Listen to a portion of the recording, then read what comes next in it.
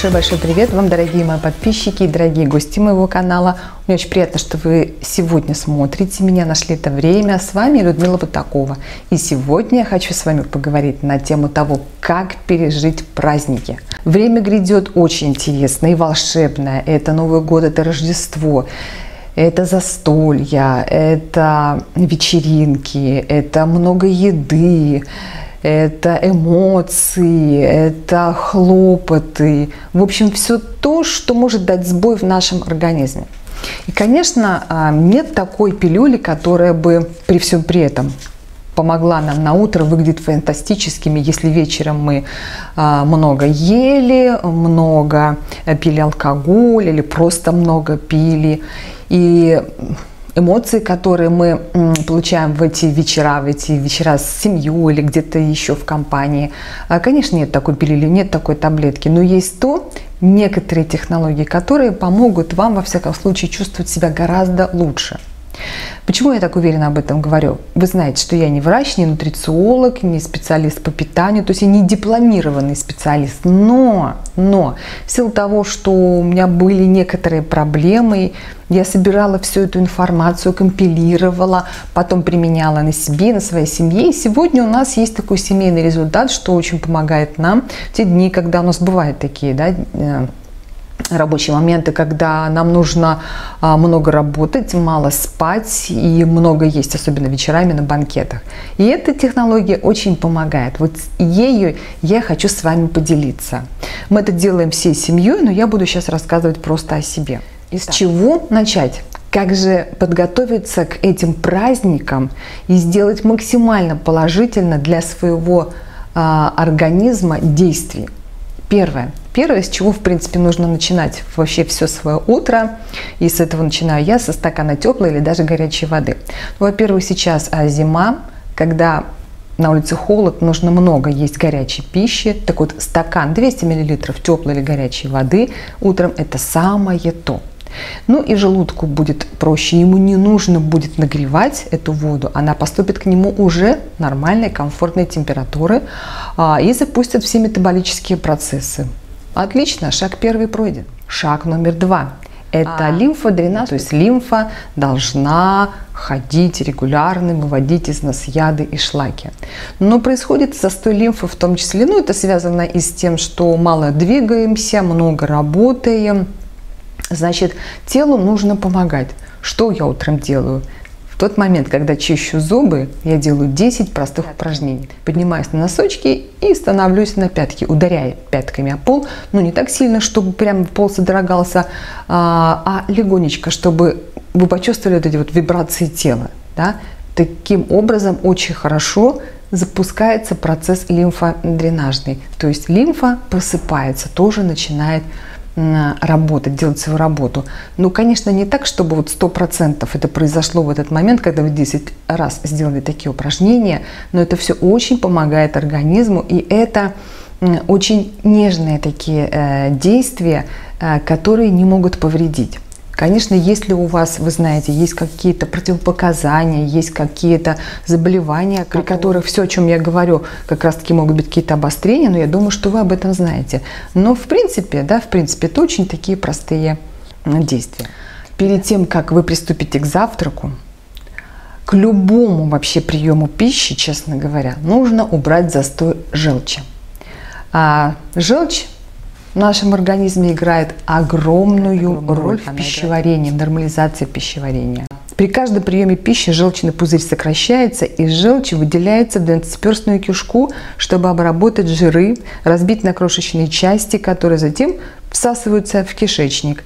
Когда желчь не выделяется, все жиры, которые мы поглощаем, выходят наружу, не расщепляясь и не всасываясь. Не происходит процесса освобождения организмом.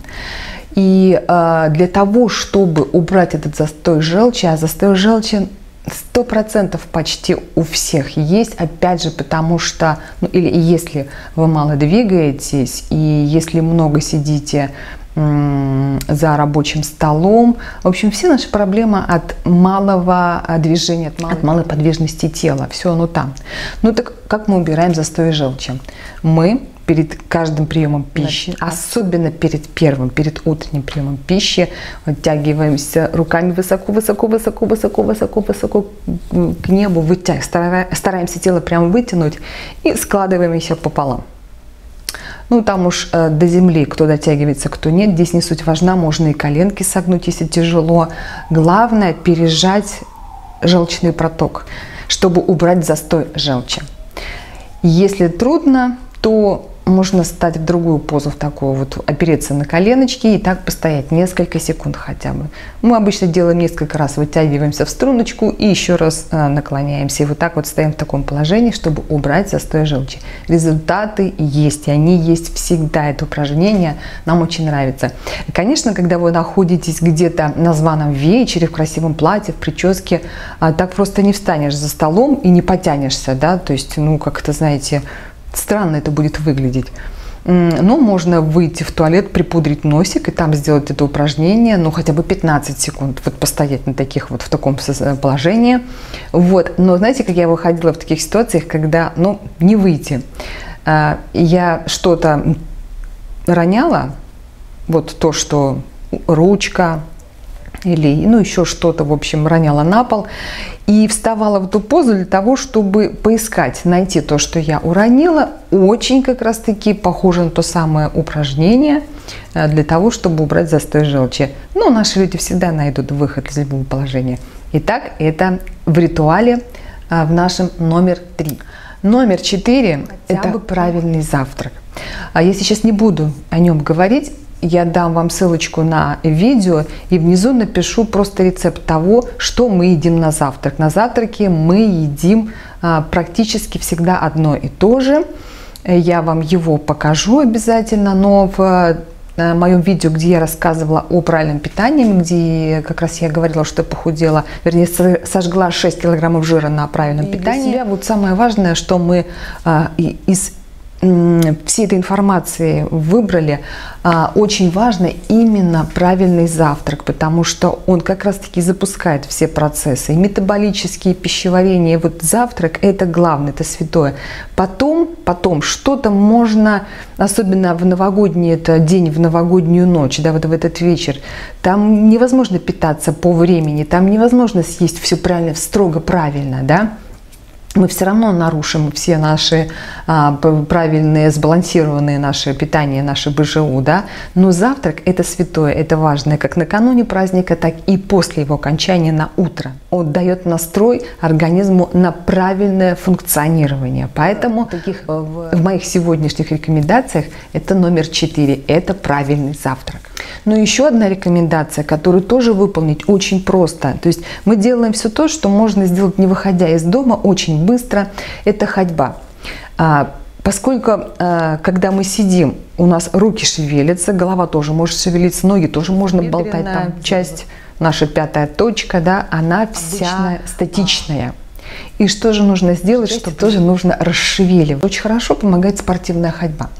Это когда у тебя голова принципе, и тело, верхняя часть стоят на месте, а ноги делают определенные движения. Кто в школе, я думаю, учился, вы знаете, что такое спортивная ходьба.